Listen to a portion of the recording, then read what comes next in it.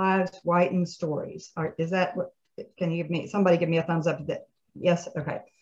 If, if for some reason when I'm talking, the slides do not advance, please somebody let me know because I had another situation in the past where I'd gone through several slides and someone said, oh, we're still seeing the first slide.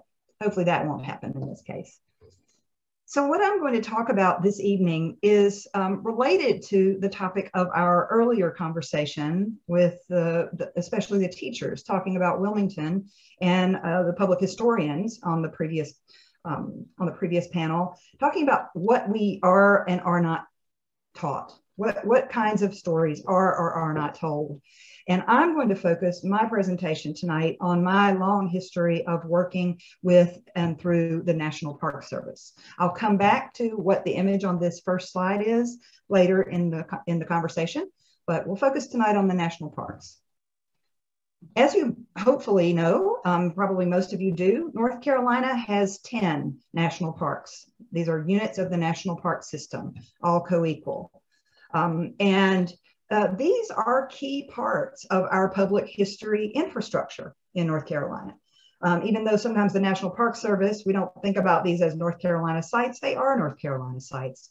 And what I'm going to argue tonight and try to present is that three of these sites that I've worked on a lot are really um, making choices to present primarily white histories and missing opportunities or not um, taking up opportunities to talk about Black history and to talk about, honestly, about topics about race that we need to understand. So I think the National Park Service, you know, can and should do better in this score. And I would say this even in a moment when we recognize that there is burgeoning controversy and, as we heard in the earlier panel, pushback on um, employees of various entities that try to do this. I think that the parks need to do better and they can do better.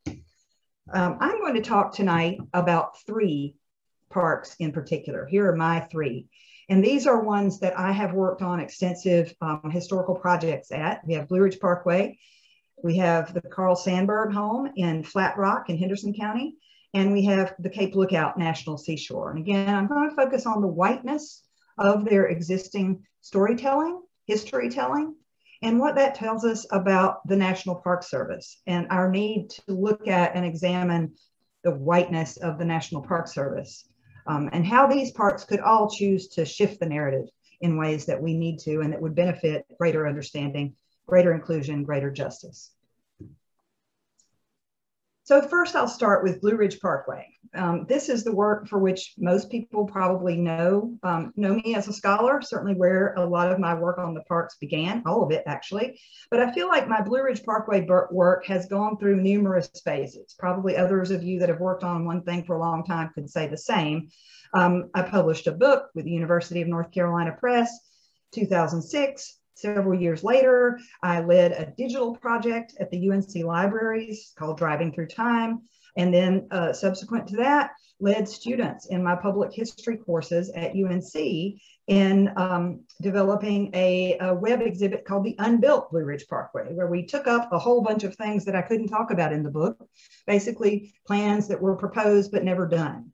Um, and uh, in the in the process i learned a lot more about things that i wasn't able to cover in the book. So the book represented what i understood in 2006 but there are new things um, to talk about that i have learned in recent years and i'll come back to that in a moment.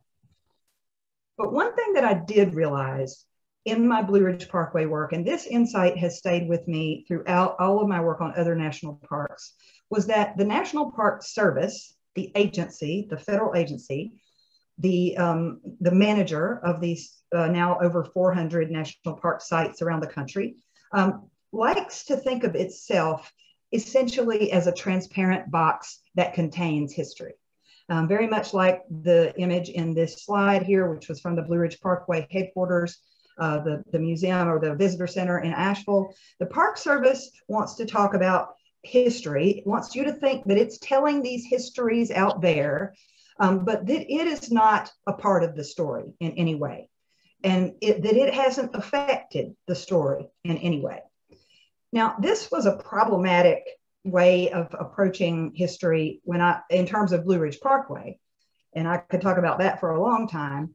But this idea is much more problematic and it seemed to me far more pernicious as I have begun to look at, um, to do other work and to sort of take up new perspectives and especially to pay attention to race and history.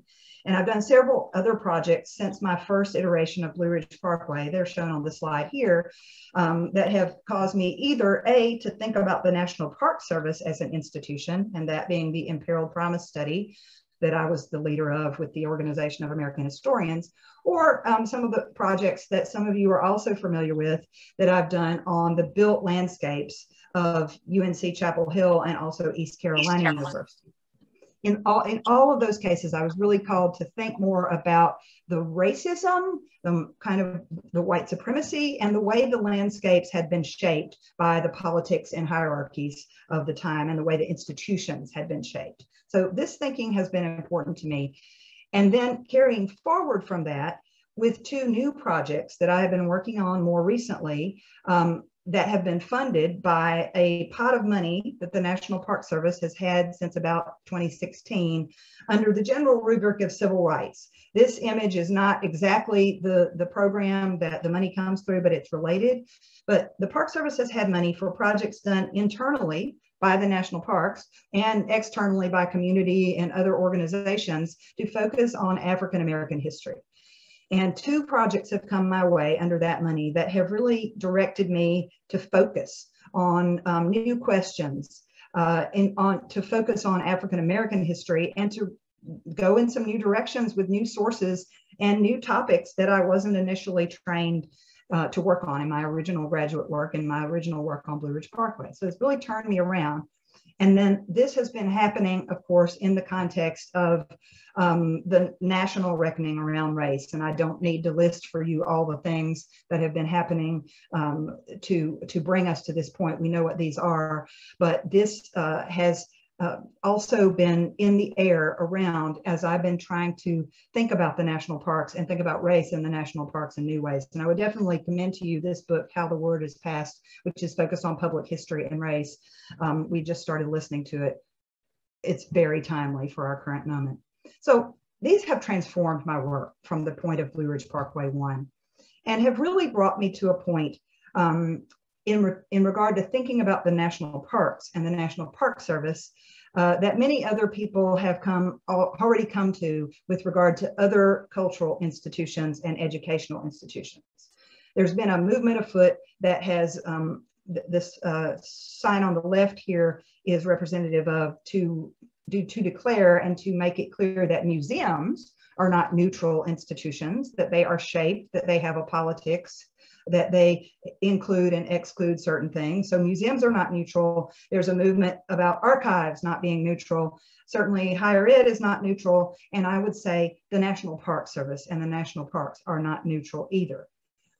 And that the transparent box that I originally thought about with Blue Ridge Parkway, the sort of sleight of hand that moves the National Park Service out of the scene in terms of the park services and the park's history telling uh, has actually had a long had a racialized character that needs to be protected. That parks overrepresent and have over um, over told primarily white stories, even without acknowledging it, and that they have silenced um, many highly relevant, relevant, interesting, and important stories of Black lives, in particular park spaces, and of racial power dynamics um, and white supremacy in fact, that we need to understand. Uh, the Park Service is entangled in those systems of racism that we're all, all, trying to think about with regard to our institutions. So the Park Service and the parks are not neutral.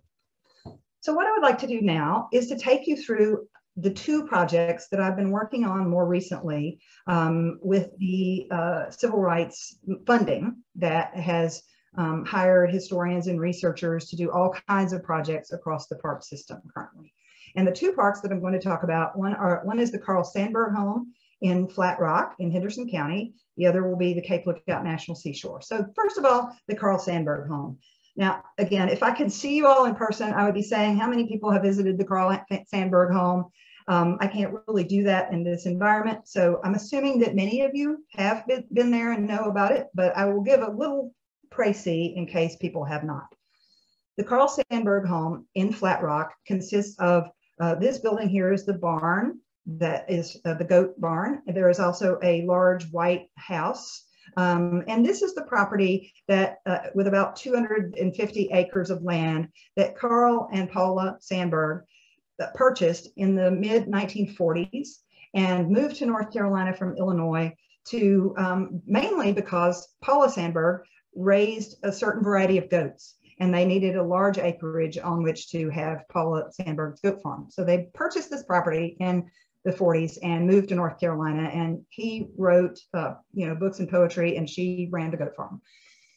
And in the mid 1960s, the National Park Service was beginning to look around. They were on a certain um, tear about getting uh, new parks developed that represented various aspects of American history and culture. There's kind of a whole Cold War thing going on with the Park Service. But anyway, they wanted to uh, bring in new park sites that had to do with culture and literature in particular. And uh, the Sandburgs had gotten to know someone in NPS. And anyway, upshot is Carl Sandburg dies in 1967. Paula Sandburg sells the site to the National Park Service, packs her bags and moves to Asheville and leaves the entire thing um, for the National Park Service. So it becomes a national park in 1968 with the purpose of interpreting the last 20 years of Carl Sandburg's life.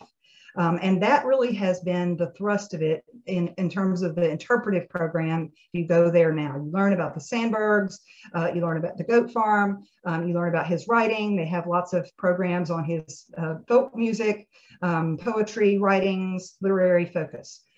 But this site had a long history before the park, and it had a long history before the Sandburgs ever arrived.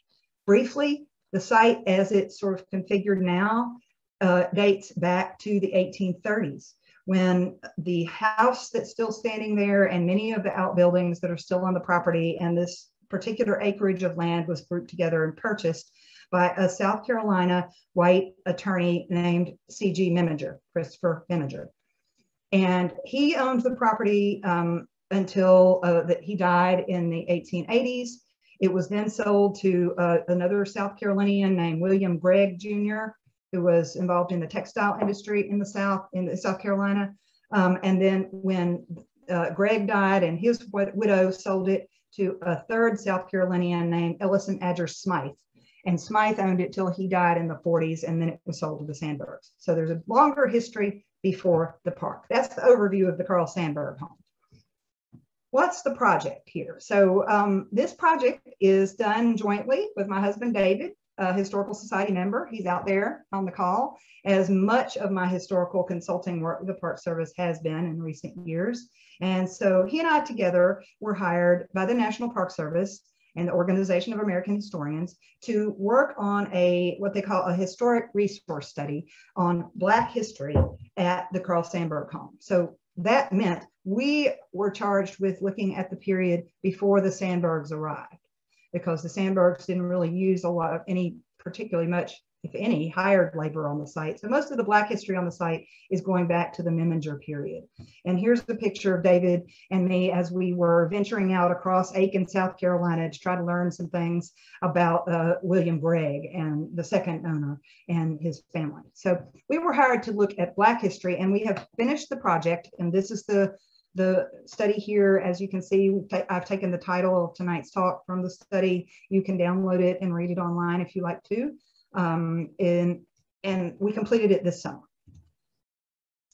So doing this study was a real challenge, however, because we, to, in order to talk about Black history at the Carl Sandburg home, we had to remove or get around some other layers of primarily white stories. One of them is the layer of Carl Sandburg, obviously. Um, the National Park Service had made an explicit decision to talk about Carl Sandburg at a site that had a lot of other histories. And that then meant that the physical landscape was treated in certain ways. And it also meant that certain sources that we would have found useful um, went, went cold or were lost in the time since the park was created. And so it, we had to kind of get around the Carl Sandburg framing because the Carl Sandburg framing doesn't sit very well with the site's other history. That's one challenge. And then the second challenge is to get around a pervasive local white centric mythology that enshrouds the town of Flat Rock in North Carolina. If you have visited Flat Rock, you have probably heard any number of people say Flat Rock was always called Little Charleston of the Mountains. Well, in the doing of this project, David um, took a deep dive on the idea that Flat Rock was Little Charleston of the Mountains and really looked into what kinds of messaging that contained within it and where that phrase came from. And so far as we could tell, the phrase was invented in the 1940s by a woman named Sadie Patton, who wrote a book on history of Henderson County. She was a member of the UDC. You know where this is going. And this is really talking about Charleston, kind of having Flat Rock live in the reflected glory of uh, the wealthy elite in Charleston who built, um, uh, who built, who came to Flat Rock in the time when Memminger came and built these summer homes that were grand and they brought culture from Charleston and these estates and homes still live yet and they had all of these aristocratic trappings um, and this is what Little Charleston of the Mountains is. And this, this gloss has been over Flat Rock. And the, the, the, the, the narrative has been around in Flat Rock since the 1870s, even though they didn't use that phrase. And that's what this newspaper article shows here. Um, but even the park had adopted this unquestioningly as somehow the true history of Flat Rock. Again, this made it hard to see Black history because this is a certain framing of Charleston. Yes, folks came from the low country, but um, it not, this does not capture what is meant by Charleston. So we had to get around these two stories. And even the park knew that they were not being entirely honest about the history of the landscape. When the scope of work came to David and me for this project in 2017, it had this uh, short um, section in it regarding this structure here in the picture, which is known as the Swedish House, which is the Sandburg's name for this structure that was built in the 1850s. And the park realized that by adopting a Sandburg framing for the whole site, that this has, as they said, silenced the fact that the Swedish house built under the Memminger um, ownership for the uh, for the housing of enslaved people that, that was being silenced by paying only paying attention to Sandburg. So the park knew that it uh, it needed to get out from under these white stories, and that's why they hired us. And so what I'm going to talk about now is some of the transformative insights that we have found in the study and really uh, the, the stories that, that are fascinating that this park could be telling, that could talk to us about slavery and the Civil War experience and Reconstruction and Jim Crow and Black communities and lives there's so much potential here that is um, being deadened by the focus only on Sandburg. So some of the findings. First finding was essentially that flat rock, which was, as I mentioned uh, briefly before, developed in the 1830s by a number of wealthy white um, families from the low country in South Carolina uh, involved in you know various plantation activities rice planting and other activities in south carolina those were the people who built homes in Flat Rock in and after the 1830s and spent time there seasonally. Um, so this is a, a, a, process that many of these low country families had been doing in other places like Pendleton, South Carolina, before they discovered Flat Rock. There have been lots of upcountry getaways, but that is who developed Flat Rock. Um, that is who built these homes. And so with some student labor and student workers in my public history class, we looked at the about 50 pre-Civil War landowners, property owners in Flat Rock. And it, we found, not surprisingly, that these people were well connected to large and wealthy slave owning, slave holding families in South Carolina. Here on the left is just a short list of some of the property owners in and around the area one is in Fletcher, but the others are in Flat Rock, and the number of people they enslaved in 1860. These make this makes some of the Flat Rock's part year residents some of the largest slaveholders in Western North Carolina, certainly. Um, and so this is a wealthy, powerful slave slave owning community that develops in Flat Rock. Two of the members of the community, uh, C.G. Memminger, our uh, person at hand here with the with the uh, Sandburg property, C.G. Memminger and George Trenholm were treasurers of the Confederacy. Um, and all three of the Flat Rock property owners, Memminger, Gregg, and Smythe, were variously interconnected to South Carolina networks of wealth, power, slave owning, industrial development, and other stories. So this is the community that came to Flat Rock. And C.G. Memminger himself, the park had never really looked deeply into his involvement with slavery. He was himself an enslaver of numerous people, as seen here in the what we gleaned from the census. Um, and there is also some detail in the Memminger papers, which are at UNC in the Southern Historical Collection, about um, what some of the enslaved people may have done, the role that they played in, in, in supporting the family as they moved back and forth from Charleston to Flat Rock seasonally. The records for the Memminger property are not very good compared to other plantation sites that I know about that have extensive um, detailed records, it's not the case, but there is a ledger, and that's what's pictured here, that does give some detail about particular people by name, enslaved people, Robert, Morrow, Cupid, who are doing particular things for the family. So that's Memminger himself as an enslaver. But we looked more broadly. Memminger was very involved in the financial and legal uh, systems um, that were around slavery. Here recently, I've just found out about slave mortgages, people using, eh, eh, which is not surprising. And I know that many of you probably already knew this, but I was trained as a 20th century historian. Um, enslaved people as property being used for collateral on various loans. And Memminger here in this document, there's a whole set of these on family search, um, is, uh, is the grantee for 46 enslaved persons mortgaged by Thomas Lamar. He was an attorney to other people who were buying and selling and willing enslaved people. And these records show that uh, a bill of sale for 66 enslaved people. And on the right, um, Memminger is the uh, trustee or the, uh, sorry, is managing the estate of someone who has a number of um, enslaved people being, uh, being parsed out in the estate. And then, as I mentioned earlier, Memminger's face is on the Confederate money right here as um, the first treasurer of the Confederacy. So Flat Rock is really a center of you know Confederate ideology. And then as we see here, we find this um, address as he's part of the development of the ideology around slavery, where he is talking about African slavery is consistent with the moral and physical process progress of a nation. So C.G. Memminger was in slave, involved in the slave system up to his eyeballs.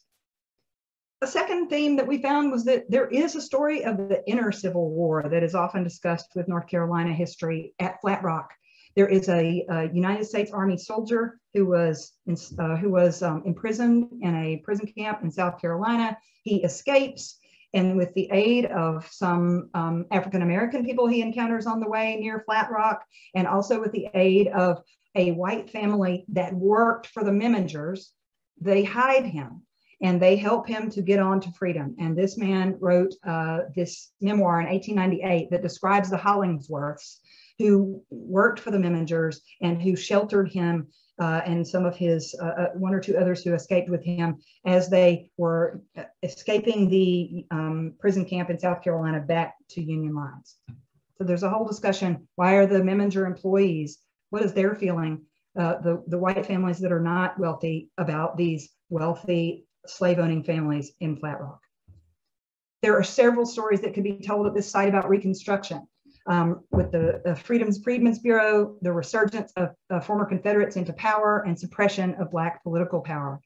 I'll just mention briefly, C.G. Memminger spent the end of the Civil War in Flat Rock.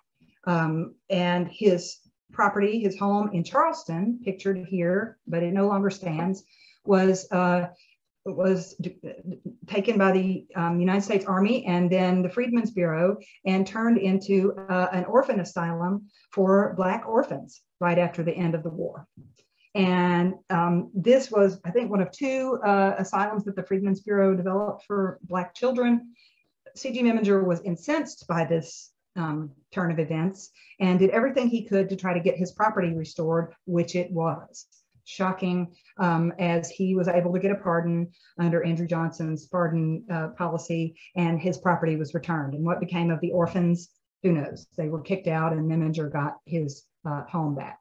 And C.G. Memminger um, himself was part of the group of former um, Confederates reelected to power in South Carolina in 1876 in the so-called rest, what is it what's called restoration, um, when redemption, what is it called?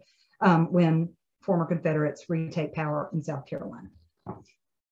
We could also talk about in, ter in terms of reconstruction, the third owner of this property, Ellison Adger Smythe. There's a lot to say about Smythe.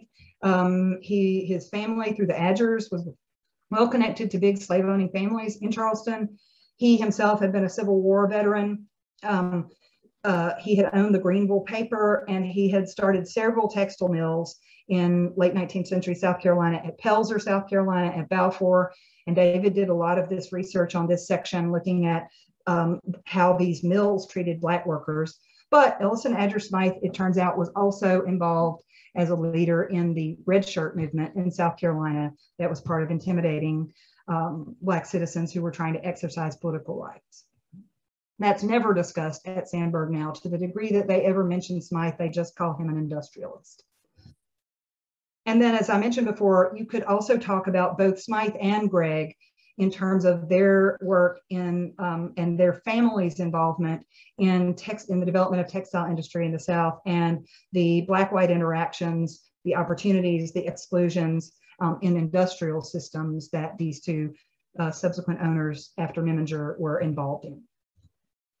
We also found quite a bit of information about Black lives and communities in and around Flat Rock. Lots of things to say here. Prominent local business person, um, Simpson Dogan, uh, uh, uh, Black owned societies that were developed to support and provide mutual aid to Black citizens, community organizations, employment, terror, and lynching.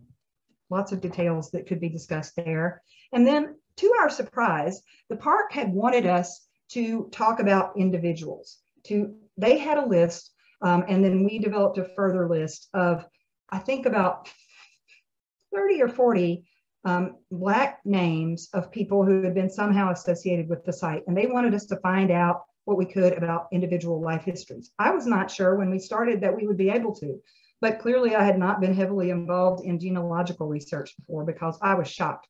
But with the, the new resources coming online through Ancestry and Family Search, the digitized um, census records, death records, wills and estate records, Freedmen's Bureau, digital newspaper, city directories, you name it, they're all uh, these records are listed here that we consulted. We were able to put together a quite amazing set of individual stories, especially about a number of Black employees who had worked for the Smythes, either in Greenville or um, when, when the Smythes were still coming to Flat Rock seasonally or after the 1920s when the Smythes moved to the site full time. And these are just a few examples on this slide of some of the individuals that we were able to find. Um, possibly a formerly enslaved person who was then working for the Memmingers. This is in the Freedmen's Bureau records right here. Um, a, a, person named James Fisher, who was a longtime employee of the Smythes, who had been a World War I veteran. There's a whole story about him and then his family in Flat Rock. Um, a person, an enslaved person who had gone to war as the as the servant or slave for Smythe. And then there's a whole story about this pension system that South Carolina developed later. And then uh, uh, several prominent families who were sort of second generation in Flat Rock, Black families, the Simmons family and the Markley family who were connected with this site. Lots of individual stories that can be told here and can be found. These people had fully realized lives um, and it's possible to begin to bring those forward. So what is the park doing? I really think the Sandburg site is receptive to our study. They commissioned the study. They had known that there were other things they wanted to focus on, but they have some challenges looking ahead. The challenges consist partly, as I mentioned before, of the fact that the park was established because of Carl Sandburg. That is the establishing legislation, which is on the left in this slide, um, focusing on Carl Sandburg. That's the story that was legislatively designated for the park to tell.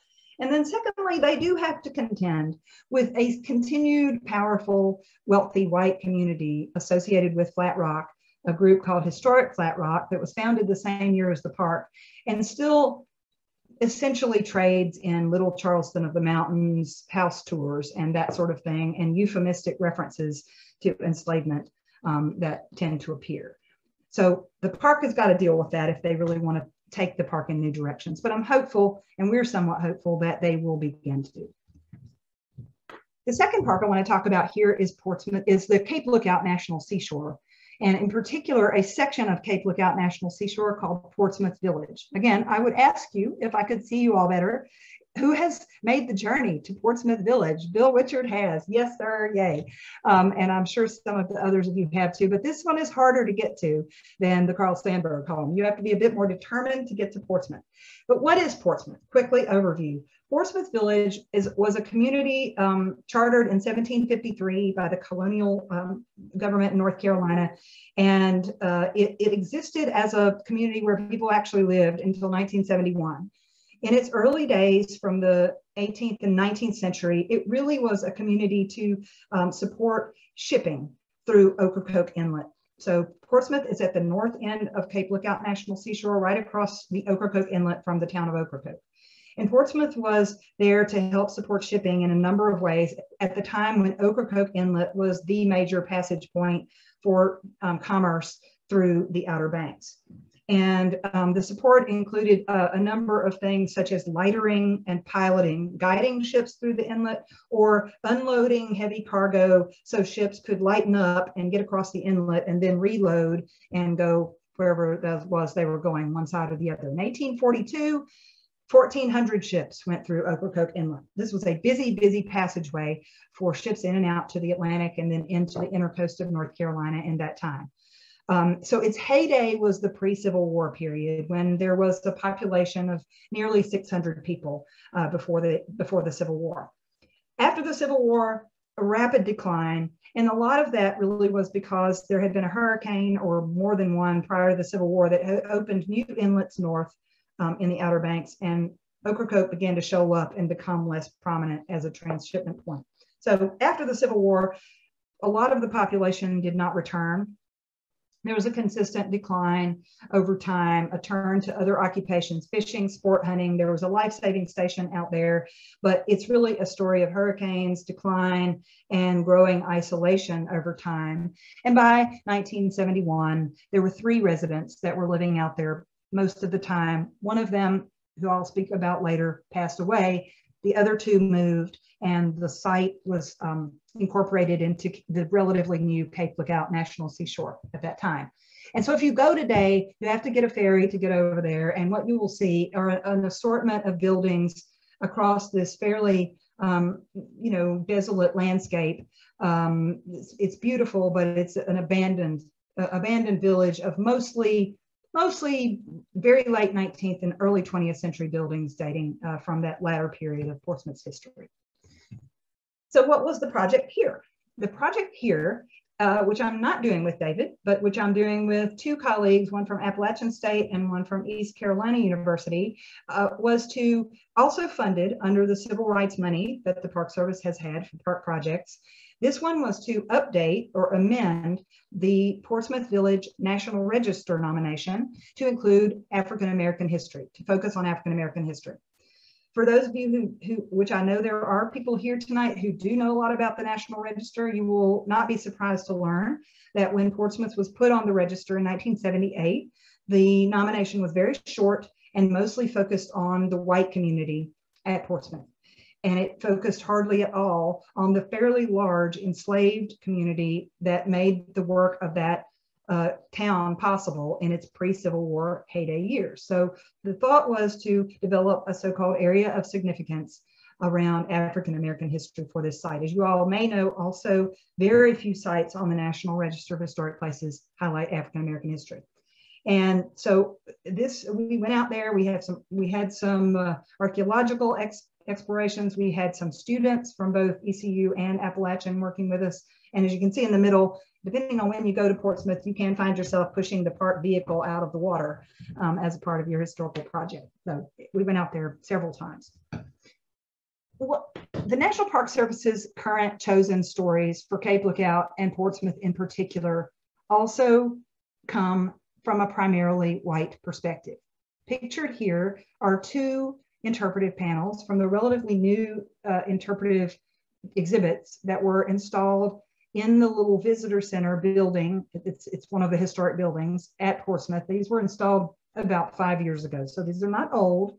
Um, but as you can see, if you can read these at all, um, they highlight uh, uh kind of generically, there's this Ports Island way, and that um, we would come to know people who chose the hard but rewarding island way of life. There's this whole sense of this isolated community that people somehow persevered in, and that's primarily a white story about the 20th century.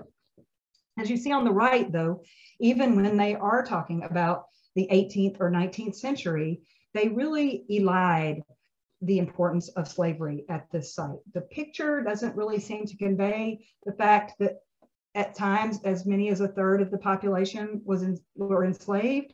And they talk about in the in the site in the sign they will um, mention enslaved workers, but they talk about other people migrating there looking for opportunity, uh, and there's not a sense that a large part of the population was coerced to live and work here.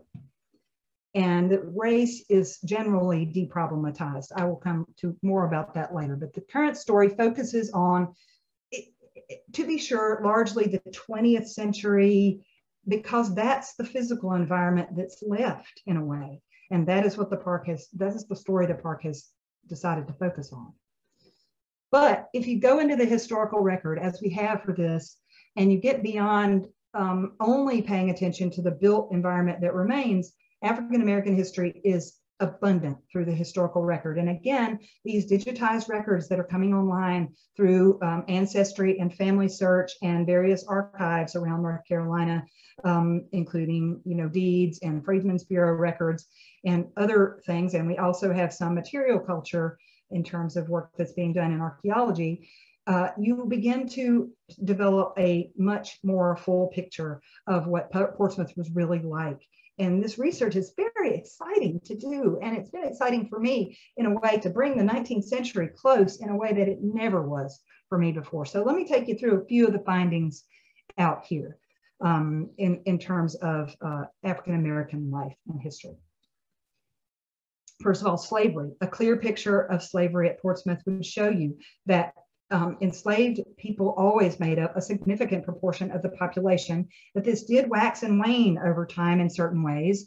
For those of you that are very familiar with North Carolina's maritime history, you will recognize the name John Gray Blount, who was the um, businessman and, and, speculator and um, enslaver located at Washington, Little Washington, he was in partnership with someone with a business operation called Shell Castle in the Ocracoke Inlet in the uh, late 19th and very early, sorry, late 18th and early 19th centuries up through about 1810, 20.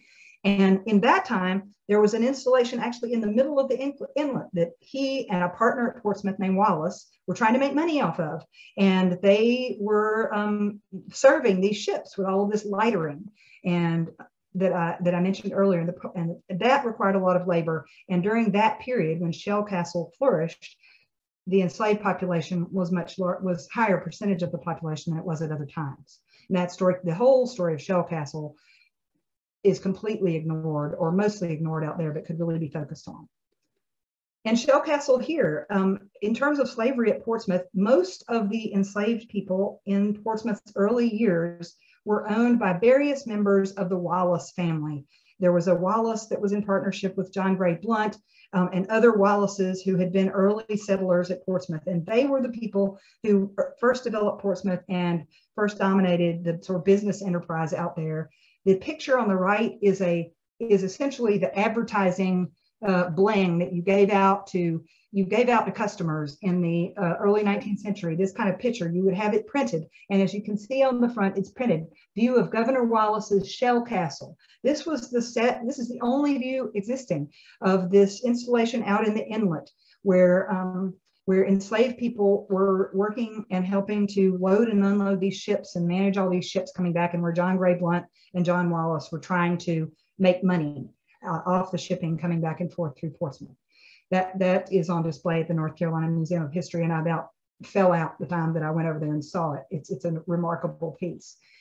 By the 1850s, however, the major slave owners at Portsmouth were the customs collectors. There are two particular individuals who were the customs collectors at um, uh, at Portsmouth, and those were the people that owned the, the largest groups of enslaved people by the 1850s and 60s. When Shell Castle had gone away, and much of this shipping was shifting to another to the other inlets north.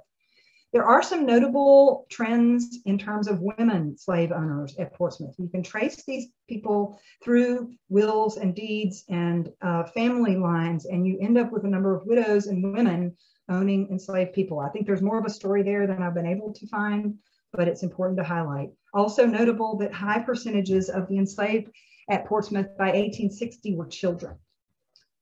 And so it's very clear as you look at the records that they have to do with this very kind of constrained community there. You can see what's happening, and you can see that enslaved people were bought and sold and hired out and rented and inherited, and families were divided at Portsmouth. That's a story that you could tell.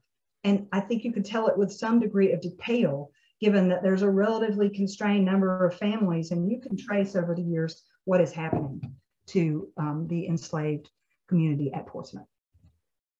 You could also talk about the resistance of enslaved people at Portsmouth. Just this one example found in the newspaper of 19 people that tried to escape in 1831 by ship but got caught in a um, in a storm and this failed. Finally, in the Civil War and after, I just love this image from 1861, which shows Portsmouth. This is Ocracoke Inlet this is um, Fort Ocracoke in the inlet on Beacon Island. And right down here in the back is Portsmouth. You can see what a little metropolis it was. It is vis visible on this drawing. But what happened to the enslaved community after the Civil War? I don't have clear answers to this, but I think some people could begin to discuss it. A New York Herald reported that a ship went by in 1861 and saw so-called contrabands, I guess enslaved people waving white flags at Portsmouth at that time. There are a number of possibilities. I'm sure people that are more knowledgeable about Eastern North Carolina, the refugee communities, the Black community at James City, New Bern, could talk more about this or could help me to trace this. But I was excited to be able to trace one named individual born at Portsmouth, um, enslaved to David Wallace Sr. to into New Bern after the war. I think there's more that could be talked about there. And then finally, the one African American piece of African American history that does remain on the land and that is focused on quite heavily at Portsmouth is the story of Henry Piggott. He was one of the three final residents in 1971, and it was his death um, that made it impossible for the two remaining white women who were the other residents to remain on Portsmouth. He dies in 71, the other two women move, and that's the end. But Henry Piggott descended from the one African American family that returned to Portsmouth after the Civil War. And um, there is a tendency at the park to focus a lot on harmony uh, in racial history. In Piggott's family is an example of that. People talk about how beloved he was on the island.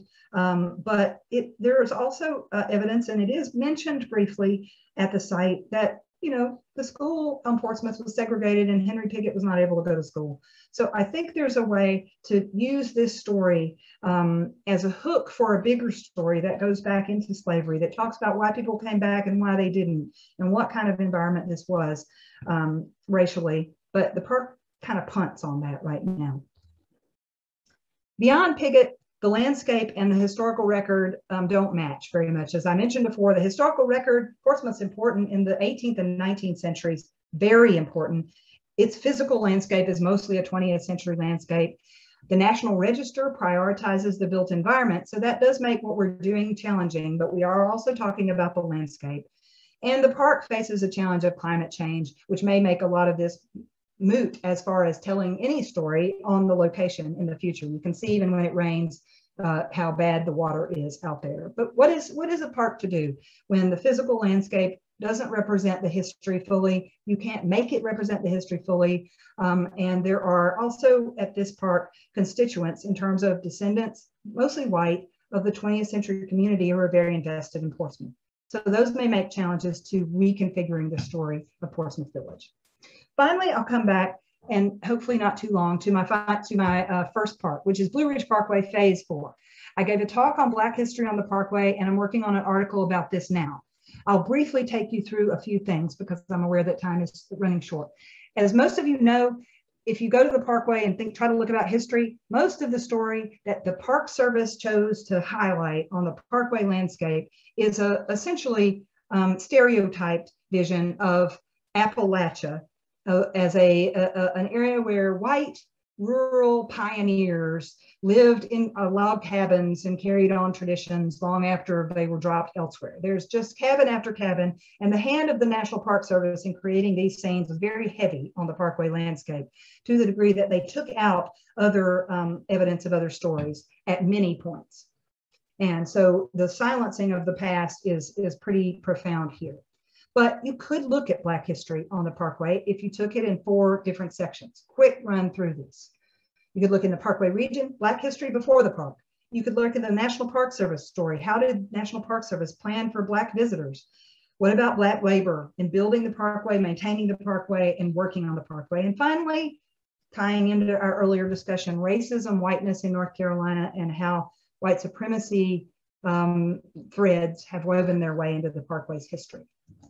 Y'all know that I love maps. If, if anybody knows my work, I made a little map. If I were in charge of park interpretation, here's all the little sites where I would put up exhibits to talk about Black history on the Parkway. There's a lot of locations where it could be done. I can share the PowerPoint later if you'd like to play with this map at all. There are a lot of opportunities here. But first, with Black history in the region, very easy to talk about the fact that Appalachia has not ever been and is not now all white. There are stories of enslavement, there was slavery in every Appalachian county, and there were considerable Black populations in every, in many, in, in every Parkway County, but in many of them listed here, as I've listed on the eve of Parkway construction. The domestic slave trade um, carried on routes crisscrossed the mountains. There are many sites where you could talk about these histories. There is a, a, a number of cemeteries that are known to uh, have enslaved people buried on the Parkway. There is a story of Black um, property ownership, farming, land ownership. On the right is pictured the Saunders Farm near the Peaks of Otter in Virginia. And you could talk about Black labor in wealthy white enclaves. The Moses Cone estate near Blowing Rock, part of the parkway, the Cones employed Black workers at the site. You could certainly talk about Black history before the park there. Second, you could talk about the National Park Service and the planning about facilities for Black visitors or not there is a little bit of discussion of this on the landscape now. The park has put up one sign at Cumberland Knob shown here that talks about the five campsite, the five picnic tables that were set aside for Black visitors in the 1930s. And it wasn't marked, but rangers were going to direct um, any Black visitors that came to the segregated section. And this represents the fact that in the 30s and 40s, the Blue Ridge Parkway, along with the rest of the National Park Service, was um, engaged in developing and planning for segregated facilities, visitor facilities at many national parks, especially in states where there were Jim Crow laws and, and practices. At Blue Ridge Parkway, there was a lot of planning on this, a, not a lot implemented because the parkway started in the 30s, the war came, and by the mid 40s, the late 40s, the Park Service had desegregated. But there are plans throughout the archives. This one here, you can't really look at it in detail, but um, was a plan for a whole uh, Blacks only recreation area at Pine Spur, Virginia. This is near uh, milepost 144. And there's a lot of new work being done about Park Service policy on segregation, integration. There's a whole study being done on Virginia. Um, there is a, a lot of there was a lot of conflict in the Park Service and in the Department of the Interior about how parks would handle um, segregation or not, or what would happen for Black visitors. And it has been pointed out that Park Service policy under Arno Cammerer, who was head of the Park Service at the time, tended to say, oh, well, we'll just wait for demand before we develop any facilities for Black visitors. But it was noted that that kind of logic was not applied to white visitors. In any, any case, um, the parks were not very inclusive uh, for, and the Blue Ridge Parkway did include plans for segregated facilities, although very little of it was done. At Pine Spur, this is basically it. 1941, we got two swing sets and two picnic tables.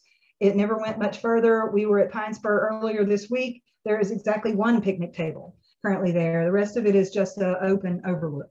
Um, and it's not marked at all, and there's no discussion of what the plans were for this area originally. The other place where there is something on the landscape that we could talk about is at Doughton Park in the bluff, what was called the Bluffs when the park was early developed. There was an actual picnic ground that was created and built for Black visitors there. It's shown here in 1940 down these steps to picnic area number one. This is the where I started the presentation tonight with this slide.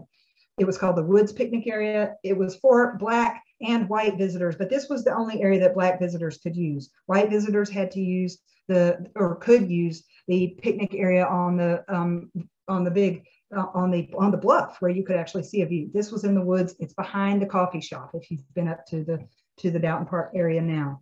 And it was the area for Black visitors to use until the mid 1940s, was abandoned in the 1960s. This structure was built in 1942 and still stands.